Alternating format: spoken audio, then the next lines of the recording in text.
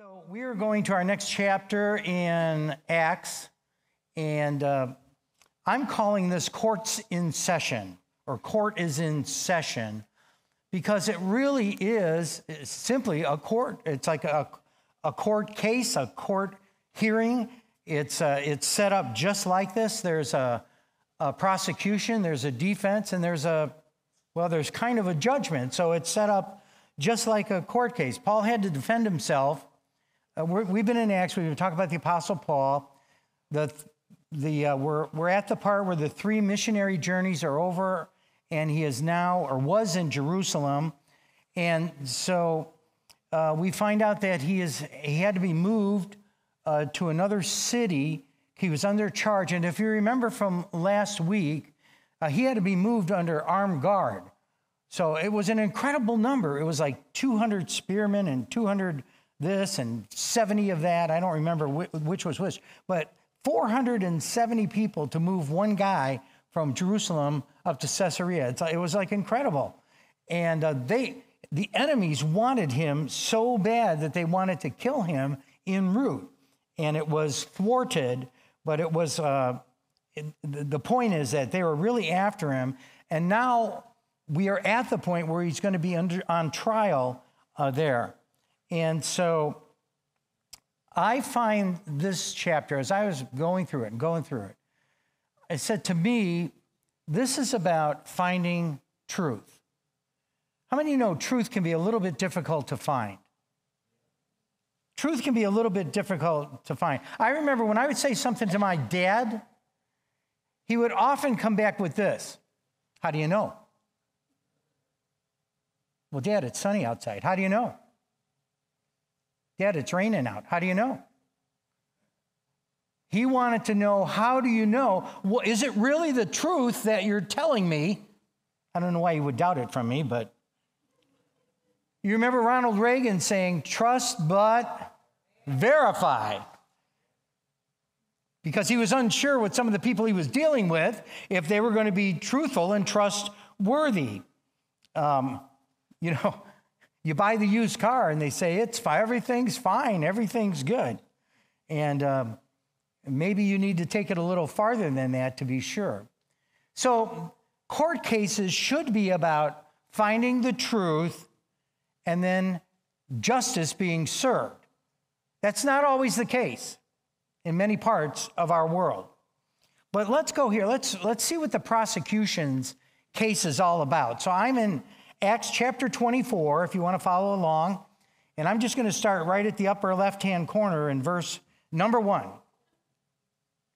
So Paul had been brought up from Jerusalem, and, and the first thing it says here is five days later. So it's five days after he arrives. This is what happens. Ananias, the high priest. Now, you have to look at this and say, how bad did they want to get Paul if the high priest himself made the trip? But not only that, he arrived with some of the Jewish elders, not just Jews, the leaders. So the high priest is there, and Jewish leaders are there, all to present a case against Paul. And then there's a guy named Tertullus. It's spelled not like that, but that's how it's pronounced. I just picture a turtle and us next to it, Tertullus. Tertullus was a lawyer. So they brought in Johnnie Cochran or whoever you want as your favorite lawyer. They brought him in uh, to be the prosecution. Cochran was a defendant, but to be the prosecution to present their case against Paul to Felix, the governor. So Paul gets called in, and uh, Tertullus presents the charges against Paul, and he makes his following address to the governor. You have provided a long period of peace for us, Jews, and with foresight have enacted reforms for us. For all of us, Your Excellency, we are very grateful to you, but I don't want to bore you, so please give me your attention for only a moment. We have found this man to be a troublemaker who constantly is stirring up riots among Jews all over the world. He is the ringleader of the cult known as the Nazarenes. Furthermore, he was trying to desecrate the temple when we arrested him. You can find out for the truth, the truth of our accusations by examining him yourself. And all the other Jews chimed in, declaring everything Tertullus said was true. Sound pretty convincing? A skilled lawyer, high officials, very serious about eliminating Paul. They couldn't ambush him on the road. They couldn't kill him in travel. That was thwarted. And now they're trying another route. Probably upset they have to go uh, this far. Tacitus, a Roman historian, described Felix. Felix is the governor, he's the judge, all right, as the master of cruelty and lust who exercised the powers of a king with the spirit of a slave. He said this as well Felix's public and private life was not a pretty one. He indulged in every license and excess, thinking he could do any evil act with impunity. So let's take a look at this court case here for a little bit. Um, the Honorable Felix, as we present him to you, all rise, don't rise, but all rise. Prosecution, are you ready to present your case? Yes, Your Honor. Um, so they say, Your Honor, Your Honor. Oh, before we start, I just want to say your robe looks lovely today. And, and who shines your crown? I mean, I can't believe how nice I can't believe how nice it looks. I think you're the nicest looking governor we've ever seen. By the way, the Bible speaks against flattery. So they, they flatter him first, and then they say something. Well, first they say all these nice things about him. Let's, uh, let's start that. Let me go back here for a minute. So you heard some of the things I read about him from another historian. And they said to him, You've provided a long period of peace for us Jews. Guess what? Well, let me just, I'm just going to put a question. I'm going to say, Is it true or not true? And you take your best guess, all right? You have provided a long period of peace for us Jews. You are correct. It is not true. With foresight, you have reforms for us. We are very grateful to you. We don't want to bore you. Yeah, you guys are hitting it 100% here. Uh, and then he makes these accusations against Paul. He's a plague. He's a plague.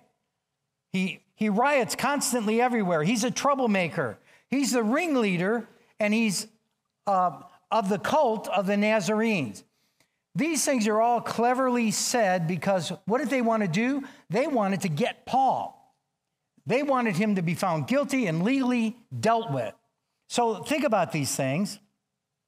A plague, well, that's pretty strong language for who, what kind of person he is. But this is even more so. Riots constantly everywhere. Why would that be something they would want to say?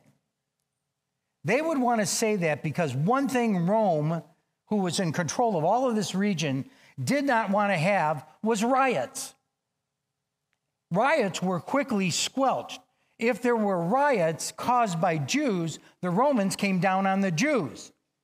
And they did not want that to happen. Nobody wants that to happen. So the accusation is he causes riots everywhere he went.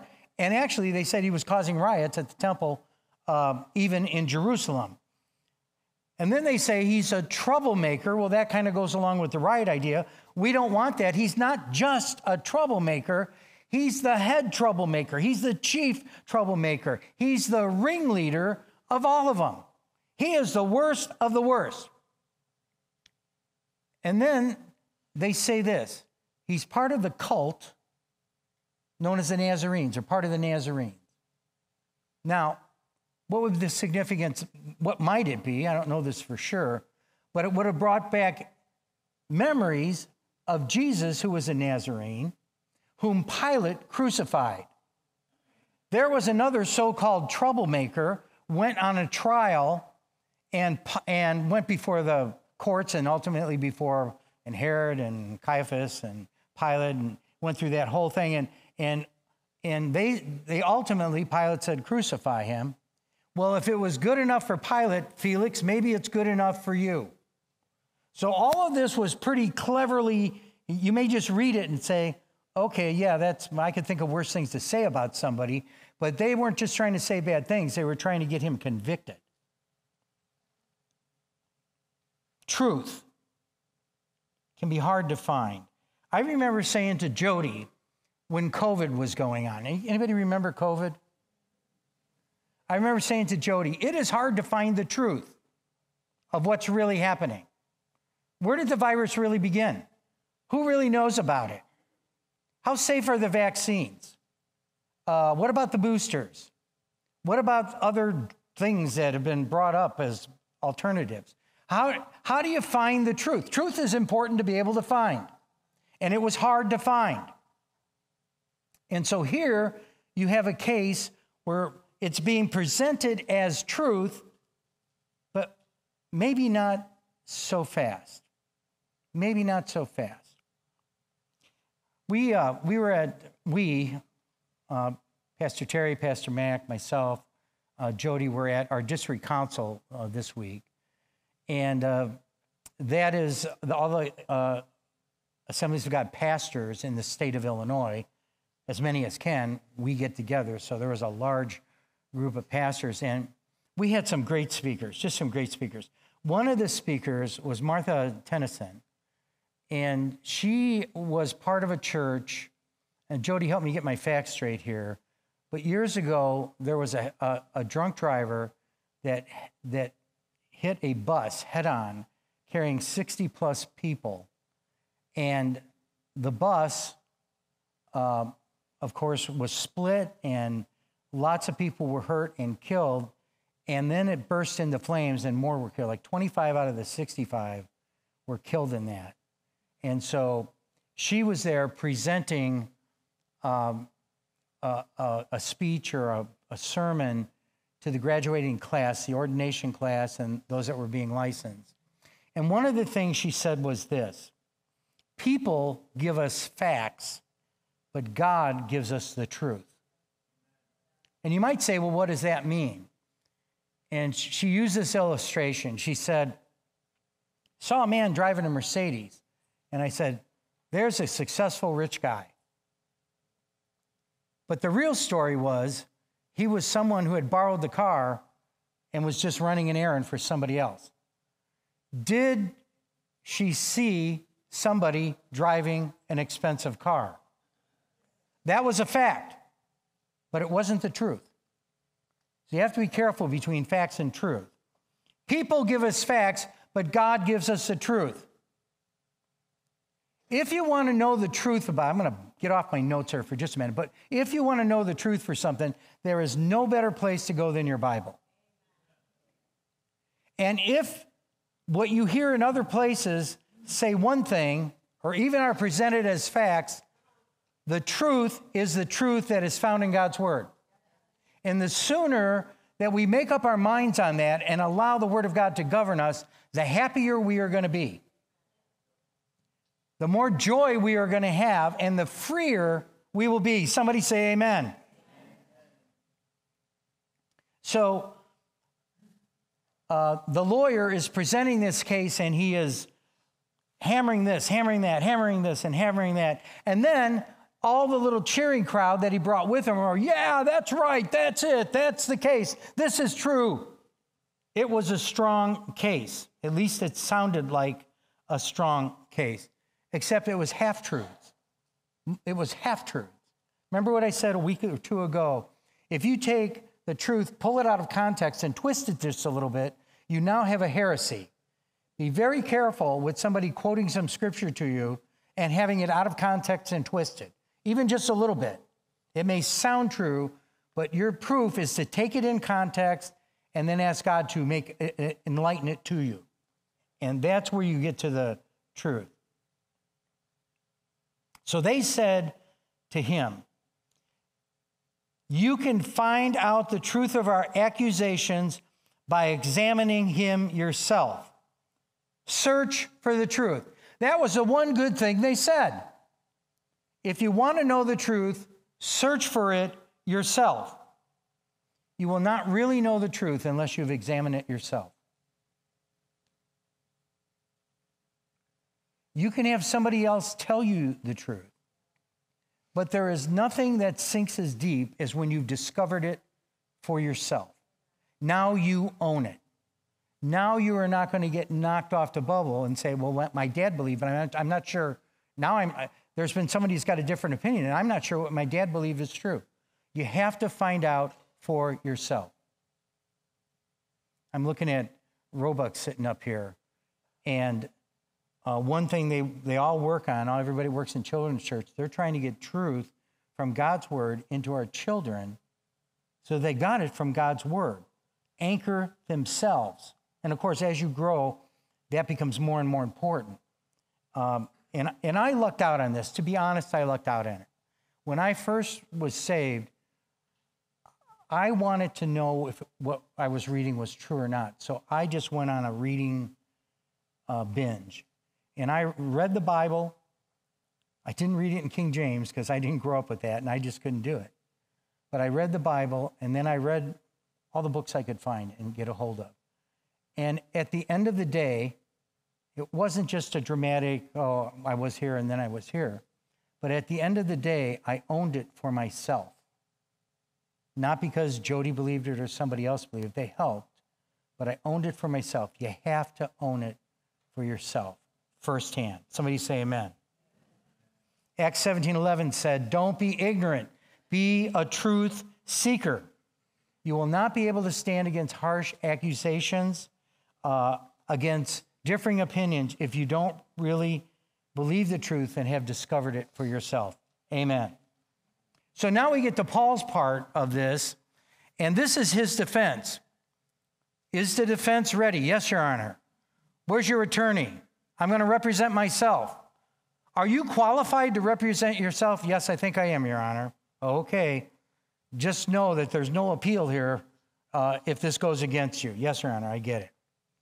So the governor motions for Paul to speak. I'm in verse 20, uh, 10 of chapter 24.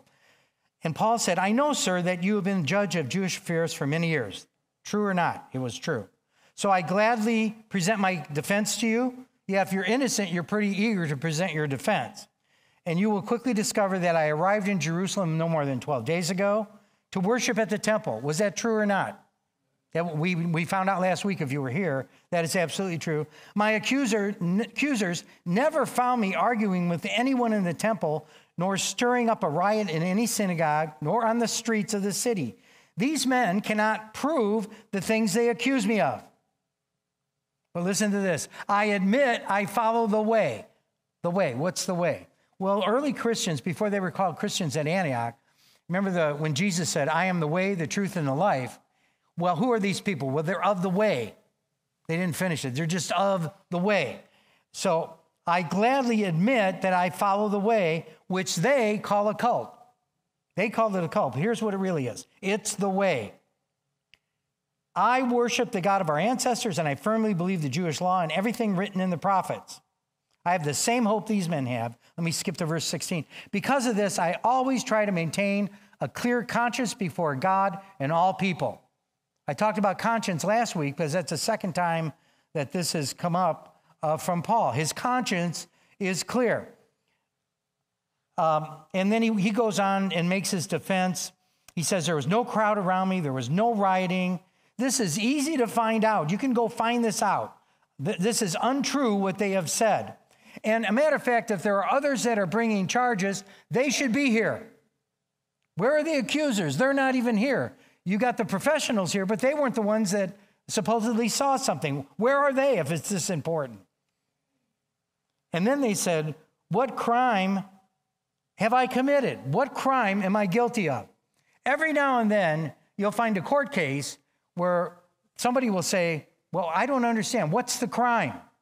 What am I being charged with? Where, where is an actual crime here that the law has been broken? So let's talk about this for uh, just a minute. He's representing himself. He said there are plenty of witnesses that are still there. You can find out the truth. It's okay if you find out the truth. I was in the temple. Remember, Paul was taking a vow. He had taken a vow, uh, and so that was, I believe, a seven day vow, and he was in, in, in the middle of that vow or a little past that, and he was purifying himself, and he did not start the riot. They started, people from Asia from the churches in Asia came down because it was Pentecost. They were in Jerusalem and they started the riot. But he says, I admit I follow the way. It reminded me of this scripture in Romans. I am not ashamed of the gospel. I, everybody say that. I'm not ashamed of the gospel. Let's say it with a little more conviction. I am not ashamed of the gospel, for it is the power of God for salvation to everyone who believes, to the Jew and also to the Greek. Um, and so I'm not ashamed of the gospel. I am of the way. And then he says, I'm on trial before you today because I believe in the resurrection. Well, all Pharisees believed in the resurrection, but really, in Paul's case, he believed that Jesus had rose from the dead. Because I believe in the resurrection. Actually, for him, uh, there was one more step there. Stand on the truth. He defended himself against attacks because he stood on the truth. So you have to have knowledge of the truth before you can stand on the truth. Let me tell you one thing Satan hates. And I'm pretty I'm on pretty solid ground here. He hates God's word. If you know God's promises, you have a very strong defense. Because Satan hates, you know, when Jesus was taken and tempted in the, in the desert, what did he use for his defense? Scripture. Satan tried to use, Satan tried to take scripture, pull it out of context, and twist it, which was a heresy, and Jesus straightened that out with accurately handling the word of truth. Have to know it. Martha Tennyson, who I talked about earlier, said this Listen, listen. Why don't we trust God more? Because we only trust people we know. I, I, I didn't write it, I just repeated it. Let's go on. Let's finish this up. At that point, Felix, who was quite familiar with the way, adjourned, hearing and said, uh, Wait, we're going to wait. We're not going to make a This is the non judgment, all right? We had a prosecution, defense, and then a non judgment. uh, he was quite familiar with Christians, the way. Uh, and he adjourned. He said, We're going to wait till the garrison commander, the one that rescued Paul, which they were upset with uh, because he didn't let them he de- de- defeated their plan. And then I will decide the case. he ordered an officer to keep Paul in custody, but to give him freedom, allow his friends to visit, take care of his needs. What do you think? Do you think Felix really thought he was guilty? Probably not. A few days later, Felix came back with his wife, Drusilla, who was Jewish. And they sent for Paul, and they listened as he told them, listen to this, he told them about faith in Jesus Christ. He is, for, he is in front of one of the most powerful people of the day, a cruel, nasty person who has strong motivation to please all the religious leaders and the leaders of the Jews. And what does Paul do? He testifies about his faith before him. Let me get through this, and I got a couple other things here. And as he reasoned with them about righteousness, everybody say righteousness, and self control, and the coming day of judgment, Felix became frightened and said, Go away, go away. When it's more convenient, I'll call for you again. He had hoped that Paul would bribe him, so he sent for him quite often. Listen to this after two years went by in this way, Felix was succeeded by Porcius Festus. Um, and he left Paul in prison. Two years. Two years. Felix delays the case. But I want you to, I had to repeat a couple things, and I did that for a reason. If you murdered lots of people and if you were ruthless, um, how would you like to hear about the righteousness of God? If you were one of the nastiest people in the world and somebody said, and God is righteous, and this is what righteousness of God is about, and th- would you like to hear that? If you were a sexual pervert and, and, and Paul is talking to you about self control, would you like to hear that? No. And then, if you talk about judgment, would you like to hear that? Go away. Go away for now. Leave me alone. Two years, Paul was left just kind of in limbo. Does that seem fair to you? No, you're not sure, and I understand it. This is what Martha Tennyson said. Now remember, bus crash, 25 of their children and some of their leaders were killed. In one case, one person was burned so badly they couldn't identify him, but his Bible was untouched. I mean, it's just, and you say, well, I'm, not sure I understand it. This is what she said, and this might be something for you to remember. We are not saved from trouble, we are saved from sin. We are not saved from trouble. In this world you will have tribulation, rejoice. I have overcome the world.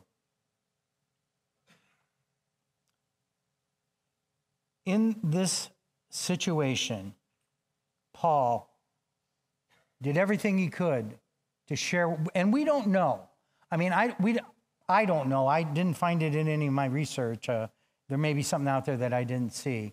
But at this point, I don't know if what Paul said to Felix changed him and if he decided to follow the way his wife was Jewish, I don't know. Or if he just continued in his old ways. But the responsibility that we have is simply to share. Somebody say amen. Missionary, you can't make somebody be saved, you can share.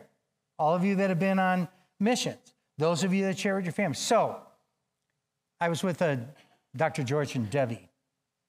And, uh, and you know, it's so nice to have children's church workers that believe what they teach. And so we were telling stories, and, he, and, and somehow this came up. And he, he said, Well, um, I had somebody I really wanted to read something, and uh, he was hesitant to read it. So I said, I'll give you 100 bucks if you read it. Now, I would suggest you, I'll go to George and ask him what book he would, he would like you to read. Now, if you know George, I saw George once take a dime and he went like this, and 11 cents came out of it. I told you I was going to have a little fun with you today. and he shared what belief in Jesus Christ is all about a deep commitment to make a mark everywhere we can. Paul, even in the face of, you know, potential real rejection and being found guilty because of sharing this, still did it. I think there's a real lesson in here for you and me. And how far will we go? And I'm not saying be, be purposely turn people off, but I will tell you there's probably times when we should have stepped out and we didn't. I know there's times when I, when I look back and I say, I should always pray when I'm in a situation I'm unsure of and say, Lord, what do you want me to do?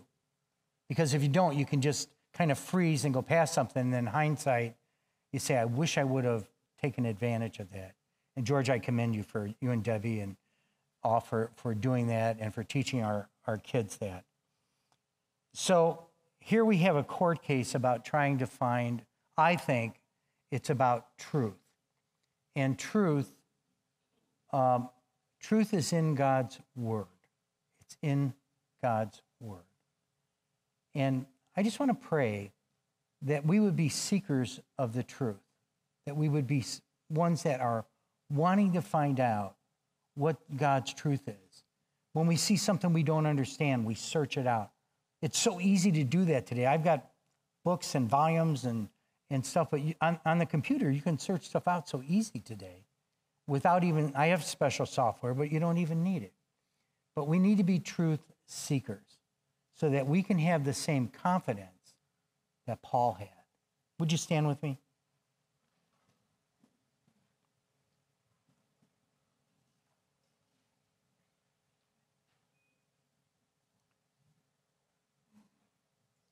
Let's just bow our heads for a minute. I'm going to read just a couple of scriptures. And I, I guess I want us to ask, as I'm asking myself, um, could I have withstood the charge? Could I have made a defense? Would I have been so bold as to even stand up to somebody who was obviously much more powerful than I am? Would I be willing to do that? Do, is the truth in me enough? Solid enough? So let's just bow our heads for a moment. If we claim to be without sin, we deceive ourselves, and the truth is not in us. We are from God, and whoever knows God listens to us, but whoever is not from God does not listen to us. This is how we recognize the spirit of truth and the spirit of falsehood. I have no greater joy than to hear that my children are walking in the truth. Do your best to present yourselves to God as one approved, a worker who does not need to be ashamed, who correctly handles the word of truth. I just wonder if there are others here today that would just say, you know what? I need to seek that out just a little bit more. And I want to be someone who can stand like Paul did. If you would say that, I, I just want to pray for us today. Would you just slip your hand up right now? Yeah. Thank you. Lord, we know that we're on a journey, whether we're young, old, somewhere in the middle. And Lord, as long as we're alive, we're seekers. And I pray, Lord, that Praise Center, that us, we, would be seekers every day, seeking your word and your truth. And Lord, I pray that you would help all of us, me included, to be strong like Paul was strong, to understand, to be clear, to be articulate, to know what he believes, that we are very strong in that. So that when we sing a song like We Shall Not Be Shaken, it's in us. We shall not be shaken. And thank you, Lord, that you do give us your confidence. Now we pray your blessings. In Jesus' name, amen.